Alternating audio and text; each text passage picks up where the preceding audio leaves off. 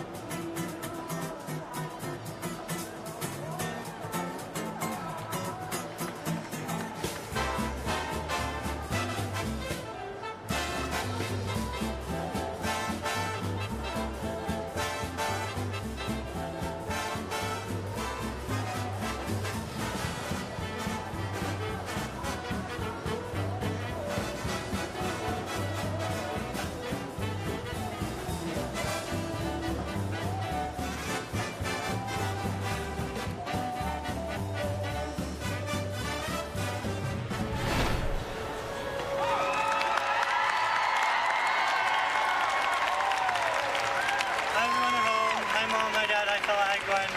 Hi, Jess.